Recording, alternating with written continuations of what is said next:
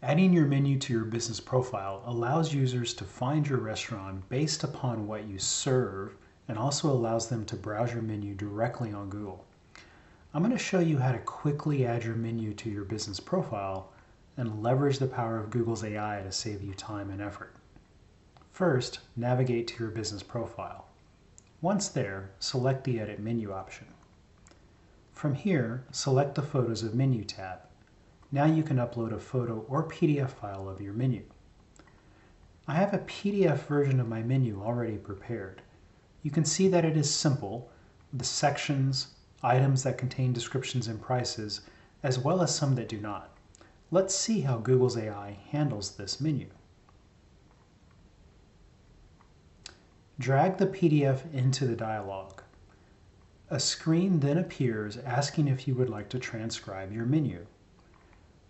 Go ahead and click the Transcribe Your Menu PDF button.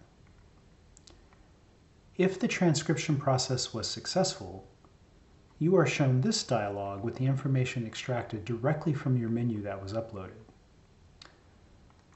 You'll notice as we browse the results that the side items were not imported as they had neither a description or a price.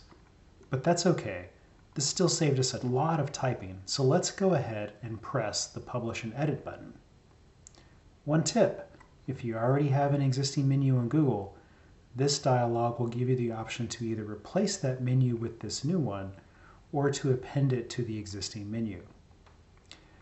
Now we can see our menu and we can directly edit and make changes to it in case there are any mistakes that we would like to correct.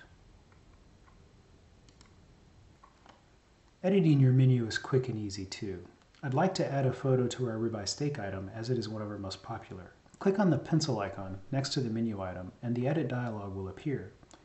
Here we can make changes and upload a dish photo.